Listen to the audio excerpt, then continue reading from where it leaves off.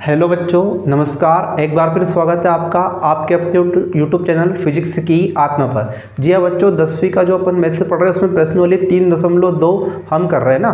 तो इसमें बच्चों, जो बहुत ही आईएमपी क्वेश्चन मैंने आपको प्रतिस्थापन विधि से करवाए थे तो आई समझते क्वेश्चन क्या बोल रहा है? क्वेश्चन बोल रहा है, यदि आपको दो एक्स प्लस तीन वाई बराबर ग्यारह और दो एक्स माइनस चार वाई बराबर माइनस चौबीस हो को हल कीजिए और इसमें एम का वहाँ मान ज्ञात कीजिए जिसके लिए वाई बराबर एम एक्स प्लस तीन हो। तो आ, सबसे पहले मैं आपको बता दूँ कि ये जो वाई बराबर एम एक्स प्लस तीन है ये क्या है? ये वाई बराबर एम एक्स प्लस का तीन है। इसको मतलब रेखा का समीकरण ये क्या का समीकरण है? ये रेखा का व्यापक रूप समीकरण रेखा का व्यापक रूप समीकरण है ना? और यहाँ पर जो आपको दिया है एम यहाँ पर एक्स और वाई का मान तो अपने को ये समीकरण में दिया है एक्स और वाई का मान यहाँ से अपने को निकालना है और ये जो एम है एम को बोलते हैं यहाँ पर अपन ढलान। या फिर इसको बोला जाता है ढलान, अगर आप इसको नहीं बोल सकते हो तो एम को अपन बोलते हैं एम बराबर होता है आपको रेखा की प्रवणता, रेखा की प्रवण प्रवणता, है ना? तो रेखा की प्रवणता, रेखा का ढलान एम का अपने को यहाँ पर मान निकालना है एम की वैल्यू अपने को ज्ञात करना है ना? तो इस तरह से होती है, देखो मैं आपको ये डायग्राम के द्वारा समझाता हूँ, ये इस तरह से मान लो, यहाँ पर कोई रेखा है, ये एक्स और वाई को दो बिंदु पर कट कर रही है। तो ये इस तरह से ये कोण थीटा बन रहा है तो ये जो आप स्लोप देख रहे हो, इसको बोलते हैं ढलान। ये रेखा का क्या है? ढलान या स्लोप है, इसको बोलते हैं रेखा की प्रवणता। रेखा की प्रवणता। या इस तरह से भी रेखा जा सकती है? तो इसको भी अपन क्या बोल सकते हैं? ये क्या रेखा का ढाल? रेखा का ये क्या बन गया आपका? ढाल या ढलान, इसको अपन बोलेंगे ना? ये रेखा की प्रवणता। तो इस तरह से आप जब भी कोई कार्तीय तल में किसी रेखा का निर्माण करते हो तो इस तरह से जो स्लोप बनता है और इसको अपन बोलते हैं रेखा का प्रवणता है, रेखा की ढलान। अपने को यहाँ पर एम का मान निकालना है। और एम का मान निकालने के लिए एम के और भी फॉर्मूला है रेखा के व्यापक रूप समीकरण में, लेकिन हम उसको बाद में समझेंगे ना। तो पहले आइए हम इस क्वेश्चन को हल करते हैं और समझते हैं। सबसे पहले आपको जो दिया है वो लिख लीजिए। अपने को दिया है दो एक्स प्लस का तीन वाई बराबर अपने को दिया है ग्यारह, इसको दे देंगे अपन समीकरण नंबर एक, और अपने को दिया है दो एक्स माइनस का चार वाई बराबर माइनस का तो इसको देंगे अपन समीकरण नंबर दो। तो अपन क्या करेंगे, समीकरण दो से एक्स का मान निकाल ले, और समीकरण नंबर एक में रख देंगे ना तो समीकरण दो से एक्स का मान ज्ञात करने पर। समीकरण दो क्या है आपकी? दो एक्स बराबर में आपका हो जाएगा, ये हो जाएगा चार वाई और माइनस का क्या हो जाएगा?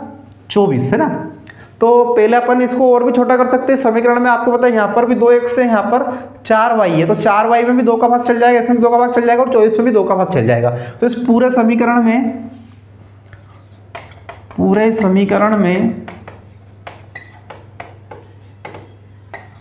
दो से भाग देने पर, दो से भाग देने पर तो दे दीजिए इसमें दो से भागते जाएगा एक्स यहाँ पर अपन दो से, दो का भाग देंगे, दो से दो कट जाएगा, इसमें दो से भाग देंगे, दो दूने चार तो जाएगा दो वाई और माइनस का चौबीस में देंगे तो बारह, है ना? तो ये एक्स की जो वैल्यू निकल के आई है अपने पास में एक्स बराबर जो मान आया है, वो आया है दो वाई माइनस का बारह, है ना? अब एक्स का मान समीकरण एक में रखने पर। समीकरण एक क्या है अपनी? दो एक्स प्लस का तीन वाई बराबर क्या है? ग्यारह। इसमें x का मान रख दीजिए तो x की जो वैल्यू पुट करेंगे अपन दो, और x बराबर क्या जाएगा ब्रैकेट में? दो वाई माइनस का बारह, और प्लस का क्या जाएगा? तीन वाई, और बराबर में क्या जाएगा? ग्यारह। इस तरह से आप यहाँ पर x की वैल्यू पुट कर सकते हो ना? x के मान रख दिया, प्रतिस्थापन कर दिया तो अब अपन यहाँ पर क्या y की वैल्यू निकाल सकते हैं? तो y का मान आ जाएगा, ये दो का अंदर गुणा कर दे, ये दो है और ब्रैकेट में दो वाई माइनस का भरा है। तो सबसे पहले आप इस दो का पूरे ब्रैकेट के अंदर गुणा कर दीजिए। तो दो दूने चार वाई दो का गुणा दो वाई में करेंगे तो दो दूने चार वाई फिर इस दो का गुणा माइनस बारह में करेंगे तो माइनस का चौबीस, बारह दूने चौबीस, और प्लस का क्या जाएगा? तीन वाई और बराबर में क्या जाएगा? ग्यारह, है ना? चौबीस उधर बराबर के उधर ले जाएँगे तो माइनस का तो वाई का हो जाएगा प्लस का, और इनको जोड़ लो। ये बचा आपका चार वाई प्लस का तीन वाई बराबर ग्यारह और प्लस का चौबीस। जोड़ लो इनको। चार और एक पाँच, दो और एक तीन। तो ये आ जाएगा आपका पैंतीस, और ये जाएगा चार, और तीन कितना हो जाएगा? सात वाई तो सात वाई बराबर पैंतीस तो वाई का मान निकालेंगे। ये जो गुणा में है, सात बराबर को उधर भाग में चल जाएगा। सात एकम सात सात पंजे पैंतीस तो वाई का मान आया अपने पास में पाँच है ना? अब यदि अपने पास में y का वैल्यू आ गया तो अपने को x का मान और चाहिए। तो यदि x का मान निकाल लेंगे तो यहाँ पर y और x का मान रख के हम इस m की वैल्यू को फाइंड आउट कर सकते हैं। तो वैल्यू पुट कर दीजिए यहाँ पर आ, y की जगह क्या रख देंगे अपन? y की जगह जो वैल्यू है वो पुट कर दीजिए। तो x का मान निकालना है तो x बराबर अपने आया है x बराबर वैल्यू है दो वाई माइनस का बारह, है ना? X का मान निकालना है तो x बराबर यहाँ पर y का मान रखने पर दो गुणा वाई का मान क्या है? पाँच और माइनस का बारह। तो एक्स बराबर हो जाएगा पाँच दूने दस और माइनस का बारह। अब प्लस का छोटी संख्या है, ये दस प्लस का है और बड़ा जो संख्या अपने पास में माइनस का बारह है। तो जब बड़ी संख्या को छोटी संख्या में से घटाते हैं तो हमेशा माइनस में वैल्यू आती है। तो एक्स का मान आ जाएगा माइनस का दो। अब ये वैल्यू अपन पुट करेंगे वाई बराबर